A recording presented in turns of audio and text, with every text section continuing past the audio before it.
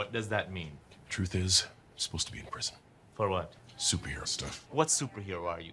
Peacemaker. Get out of here! There's no superhero called Peacemaker! Our first target is Senator Royland. People away. you suck at PowerPoint!